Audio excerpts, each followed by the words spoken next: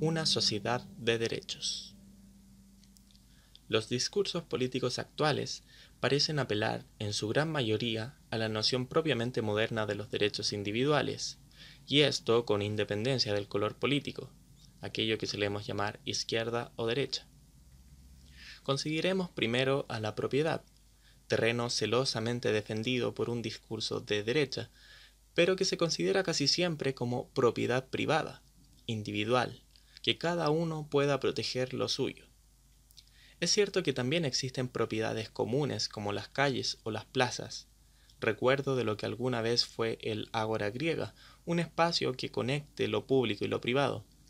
No obstante, estos sitios suelen estar descuidados y caracterizarse por tener pequeñas bandas de drogadictos, Incluso en las grandes plazas de armas, donde concurre mucha gente, no hay especialmente un espíritu de colectividad.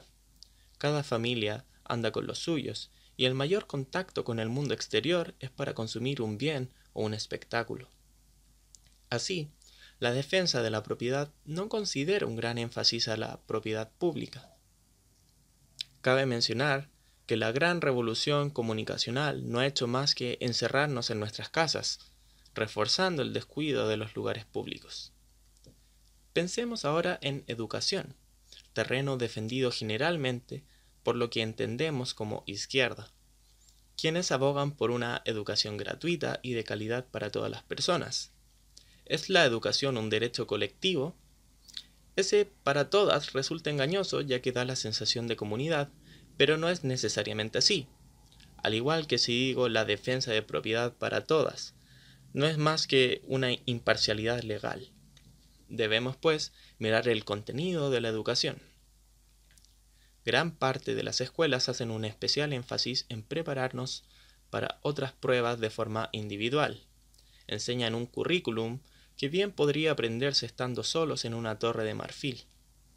Es cierto que también hay trabajos en grupo y actividades colaborativas, pero la mayoría del tiempo estas instancias fracasan puesto que por un lado, las personas tienen distintos horarios y estrategias de aprendizaje que hacen difícil una genuina colaboración. Y por otro lado, existe la gran presión de una calificación final, donde importa más un informe final que la experiencia de contrastar ideas. Así, los intentos de educación colaborativa terminan en una división del trabajo y que, cada quien haga su parte, cuestión que poco tiene que ver con la idea de una educación colectiva y la generación de lazos entre ciudadanos. Por último, hablemos del aborto. La discusión se torna entre opositores quienes creen que abortar es un asesinato y que por lo tanto viola un derecho básico fundamental, mientras que en el bando a favor a veces se desconoce el estatus de persona del feto, negando así la existencia de derechos en un feto, pero reconociendo estos derechos en el ser humano ya concebido u otras veces se argumenta que la madre tiene derecho sobre su cuerpo y lo que ocurre en él. De ahí la consigna mi cuerpo, mi decisión. Entonces, a grandes rasgos, quienes se oponen como quienes aceptan el aborto defienden su decisión en torno a derechos que, si bien se aplican imparcialmente a todas las personas, son individuales en el sentido de que no se necesita la existencia de una comunidad para la ejecución de esos derechos. Estos tres ejemplos que he tratado están obviamente muy simplificados y podría hablar sobre políticas de seguridad, de identidad sexual, de viviendas. Pero creo que se deja ver ya con esto la tendencia de defender asuntos políticos con derechos individuales, que no son más que deseos individuales reconocidos como legítimos y buenos. La discusión política se transforma entonces en cómo deberíamos priorizar esos deseos pero bajo una sociedad basada en este sistema, bien podríamos utilizar la expresión de Thatcher.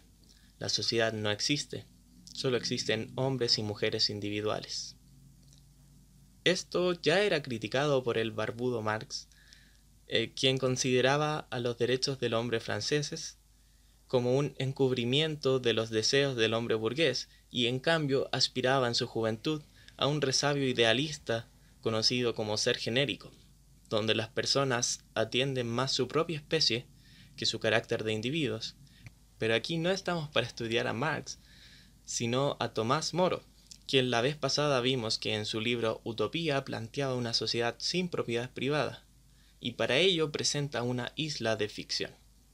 En esta segunda parte iremos analizando algunas de sus características y cómo éstas podrían contrastar con la sociedad atomista actual. Antes de comenzar, es preciso avisar que no haré una descripción detallada del libro, pues ya existen buenos videos en esta plataforma que hacen un resumen y una descripción más extensa. Dejaré algunos de esos videos en la descripción. Bases de la utopía. Una de las primeras cosas que me llamó la atención es la gran abundancia que existe en Utopía. Aquí todas las personas trabajan o en la agricultura o en una profesión útil para la sobrevivencia. Poseen un sistema agrario que les permite subsistir sin la necesidad de comerciar con otros pueblos, y como producen en abundancia, las ciudades se abastecen y comercian sus excedentes, creando un gran tesoro repartido en deudas externas. Como todos trabajan, solo lo hacen seis horas al día y pueden usar el resto del tiempo para el ocio, que consiste en compartir con el resto, dedicarse a los estudios, practicar la música u otros artes. Este aspecto parece muy fantasioso, ya que en la actualidad, con todas las máquinas e industrias que tenemos y facilitan el trabajo, aún así tenemos la mayoría que trabajar largas jornadas para sobrevivir. Pero debemos considerar dos cosas. Primero, que en Utopía existen una cantidad reducida de trabajos, que son solo aquellos que permiten la supervivencia de las personas. Segundo, que en aquella sociedad no existe el dinero ni la acumulación de riquezas, sino que existe un sistema de reparto. Hay aquí algo muy contraintuitivo. Es una sociedad donde todos trabajan poco, pero se castiga la holgazanería, incluso en el tiempo de ocio. En Utopía no existen pobres, pero tampoco existe licencia. No hay siquiera vacaciones. Tampoco existe ahí las máquinas industriales ni la electricidad. No existiría el Internet ni los teléfonos móviles. Es que todas estas cosas aún no existían cuando Moro escribió su libro. Entonces, ¿podría sostenerse una sociedad como se describe acá, pero adaptándola a las nuevas tecnologías? No lo sé.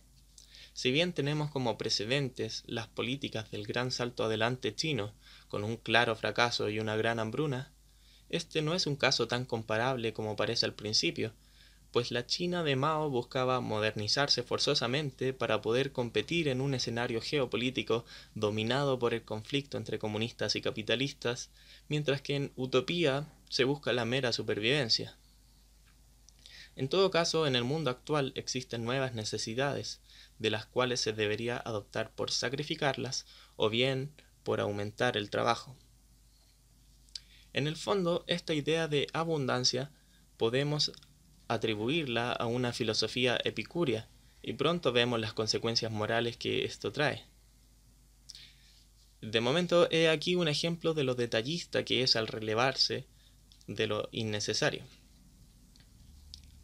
Los utopianos poseen pocos caballos, y estos muy briosos, pero solo los emplean en ejercicios ecuestres de la juventud, ya que utilizan los bueyes para los labores del campo y de transporte, pues consideran que, aunque el buey no sea tan impetuoso como el caballo, es más tranquilo y menos propenso a las enfermedades, y su mantenimiento exige menos gastos y cuidados. Y, además, cuando ya no es útil para el trabajo, se aprovecha su carne como alimento. Otro elemento que me llamó la atención es el rol de la familia. Podemos leer pasajes que parecen contradictorios. Las mujeres trabajan y acuden al aprendizaje de las letras en su tiempo de ocio de igual manera que los hombres, pero luego las mujeres se encargan de cocinar y son quienes sirven a sus maridos en las comidas públicas, además de dedicarse a criar a sus hijos, lo que no deja de ser alarmante para nuestros tiempos considerando que tienen entre 10 y 16 hijos por familia. Todo esto resulta contradictorio, porque las mujeres al comienzo poseen una vida similar a los hombres y esto nos resulta como un gran avance para la época, pero en el momento en el que se casan, desde los 18 años, se transforman en servidoras de la familia. Esto último no nos parece tan utópico en nuestros tiempos, pero puede comprenderse que en los tiempos en que el escritor escribió aquello, eso era lo usual y la base cultural sobre la que construye su ciudad ideal. Pero la familia también tiene otras particularidades, ya que los hijos pueden cambiar de familia si prefieren formarse en otro rubro. Y ocurre también un traslado de niños para compensar las disparidades numéricas entre familias. Entonces, en algunos aspectos no es tradicional, y ello pues obedece a la función de sostener la comunidad. Uno de los aspectos más llamativos es que no existe el dinero, sino que existe un sistema de reparto. Cada padre de familia va a buscar allí, unos almacenes, lo que le es necesario a él y a sus familiares, y recoge lo que quiere, sin dar dinero ni ninguna otra cosa a cambio. ¿Por qué no habrían de entregárselo? Únicamente el miedo a las privaciones es la causa que hace egoístas y avaros a todos los seres vivos, y en el hombre el orgullo, pues le hace jactarse de la exhibición de cosas vanas para distinguirse de los demás vicio que las instituciones de utopía no toleran de ninguna manera. Vemos en este fragmento que la abundancia mencionada antes permite la configuración de personas generosas, que no buscan ostentar riquezas y que éstas desencajan completamente. Nuestras teorías económicas parten del supuesto de que somos egoístas y solo obraremos para conseguir nuestro bien personal. Algunos teóricos políticos sostienen que la necesidad de política solo ocurre porque vivimos en sociedades con escasez, ya que en una sociedad abundante no existe ninguna necesidad de regulación y justicia. Antes de colocarse en una posición bipolar y criticar o a Moro o a las ideas que acabo de exponer, es necesario considerar que es fantasiosa toda inmersión en la medida en que no vivimos en sociedades abundantes pero dicho esto, la diferencia estriba en que Moro considera la sociedad no como una forzosa estrategia para satisfacer las necesidades de cada uno, y si bien logra aquello, no es el objetivo principal. El objetivo principal de la política parece estar basado en concepciones aristotélicas, esto es, alcanzar la plenitud humana, pero más tarde ahondaré en esto. Un último aspecto que quiero ver es que en Utopía no existe la propiedad privada. Incluso las casas y los campos funcionan con un sistema de rotación, de suerte que les es todo común. Las personas no poseen siquiera demasiadas prendas de vestir, sino que tienen lo mismo todos y en la medida en que necesitan una prenda nueva, se la fabrican en casa. Pero todo esto está muy relacionado con la inexistencia del dinero, las ciudades se entienden entonces de forma cooperativa, donde todos trabajan ya no por su propia riqueza, sino por la coexistencia de la comunidad. Y siendo así, entonces se genera un vínculo necesario entre los distintos miembros de la ciudad. Una moral hedonista, comunitaria y teleológica.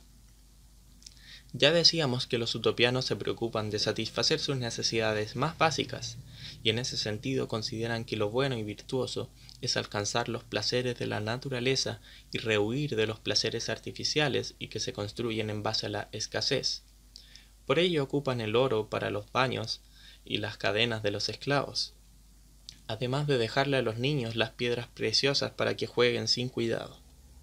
Moro nos cuenta los utopianos entablan polémicas sobre la virtud y el placer, pero su principal problema consiste en saber en qué consiste la felicidad del hombre y si reside en una o varias cosas.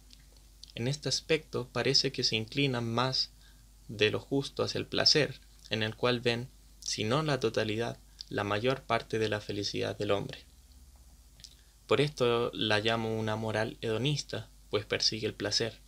Sin embargo, no es el placer de cualquier cosa, sino que se combina con un análisis religioso y racional. Enseguida dice, consideran que la felicidad no se encuentra en cualquier placer, sino en los placeres buenos y honestos.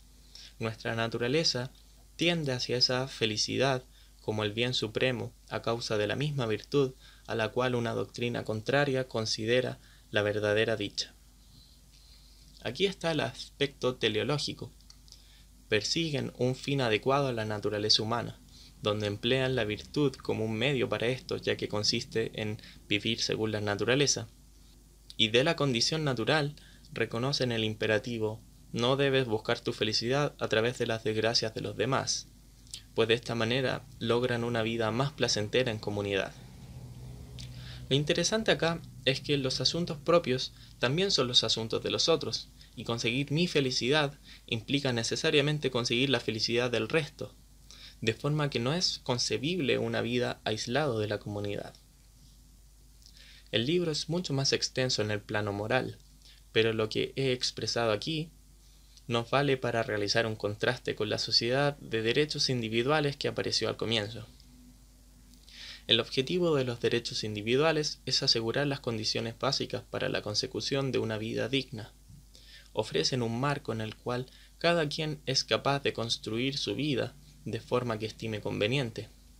En la utopía de Moro, en cambio, no existe este marco, pues no existe tampoco la idea de vidas autónomas entre sí. La sociedad utópica está interconectada, armonizada, para el desarrollo de las características afines a una naturaleza humana. ¿Significa esto que la isla de Utopía tiene un régimen contrario a la libertad, totalitario? Desde el punto de vista individual, podría decirse que no existe la genuina libertad, pues no tengo la capacidad de hacer un plan de vida que esté desentendido del resto de la comunidad. Dejo de lado la importante cuestión de que si lo que acabo de decir eh, constituye una genuina libertad. Pero a diferencia de un régimen totalitario, no existe aquí la represión de ideas diferentes. Aquí existe la libertad de culto, elecciones políticas y la indeterminación entre los pueblos. Los individuos bien pueden estar sometidos a una estructura social, pero no lo están hacia otro individuo en especial, y si consideramos que incluso en nuestras sociedades que se jactan de ser libres, también estamos sometidos a una estructura social, resulta de ello que Utopía no sería menos libre en este aspecto. Escribí la siguiente tabla para realizar un contraste más sintético. En Utopía tenemos el reconocimiento de una naturaleza humana similar a la aristotélica, donde en la sociedad de derechos se reconoce la dignidad y la libre determinación de las personas. En la primera, la vida se concibe colectivamente, en tanto que no existe la posibilidad de asegurar riquezas ni bienes privados, incluso las comidas se hacen en público.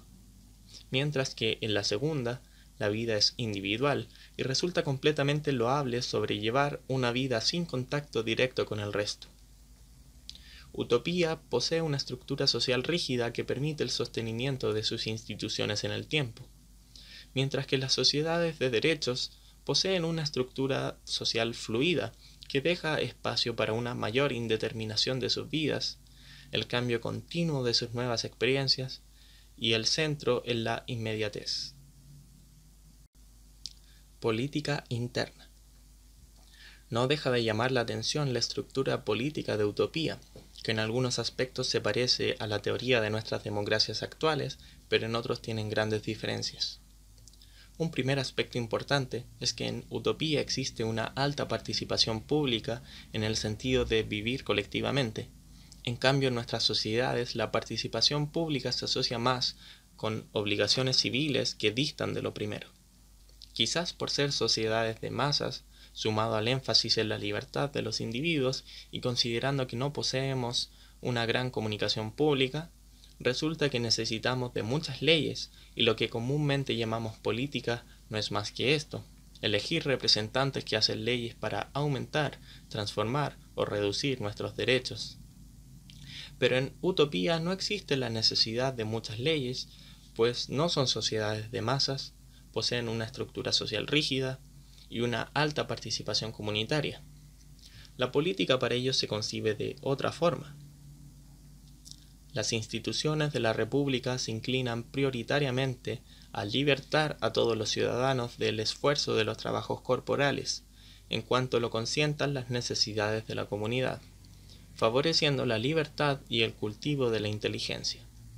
Consideran que la felicidad del hombre se fundamenta en eso. Se puede apreciar cómo la política consiste en gestionar asuntos para el sostenimiento de la comunidad, que entra en profunda conexión con la moral que acabamos de ver. Es la forma en cómo se articula la cooperación social. Las distintas ciudades de utopía tienen algo similar a un sistema federal, en tanto que cada una posee sus propias leyes y autoridades. Los vecinos de un área eligen a un representante y estos eligen a los consejeros y al príncipe. El príncipe es vitalicio, pero todo el resto se renueva cada año. De esta forma poseen una estructura política estamental, que viene desde las bases, algo similar a la idea de democracia representativa, pero también guarda parecidos con la utopía que presenta Hume y la democracia que imagina Macpherson. Ninguno de los políticos tiene una condición distinta del resto de los ciudadanos, con la diferencia de que estos se encargan de administrar la ciudad y de atender los asuntos exteriores, pero visten igual y poseen la misma condición de no tener propiedades privadas. Todo esto que describo, combinado con lo que se ha revisado antes, fortalece el punto de que utopía no es un régimen tiránico ni absolutista. Se da espacio para la discusión de ideas y al parecer se realizan cada día. Se eligen administradores desde la base, eligiendo a quienes creen que tienen mayor capacidad. Pero como los políticos no lucran de su cargo, no podría esperarse que exista una competencia deshonesta. Todas estas características tienen algo que nos hace aceptarlas desde nuestras sociedades democráticas. Hay muchos temas que no he tratado, por ejemplo, la esclavitud o el sistema religioso, de modo que les animo a leer el libro y juzgarlo por ustedes mismos. Epílogo. Mi problema con las utopías. El mundo es tremendamente complejo. Nuestro entendimiento lo simplifica para poder aprender algo de aquel, pero ese sacrificio tiene como consecuencia que se vuelve un conocimiento inevitablemente sesgado. Se ve lo que se quiere ver. Así es como puedo entender la gran divergencia que existe entre antropologías humanas.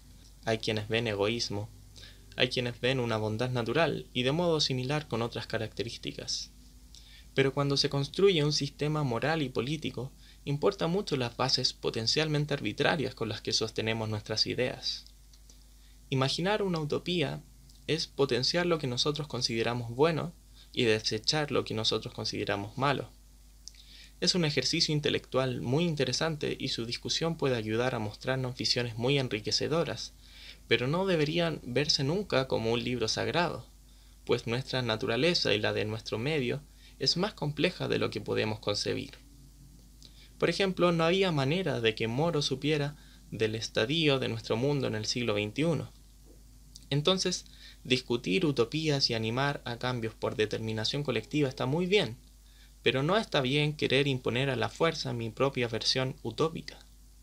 El mundo se construye colectivamente y no hay recetas mágicas que puedan construir un mundo perfecto que vengan desde la mente de una sola, por brillante que sea. Idolatrar trabajos y sistemas filosóficos como dogmas solo nos llevará a una violencia estéril. Si les ha gustado mi trabajo, les animo a compartirlo con más gente que crean que les pueda interesar. Nos vemos en otra ocasión. Que estén bien.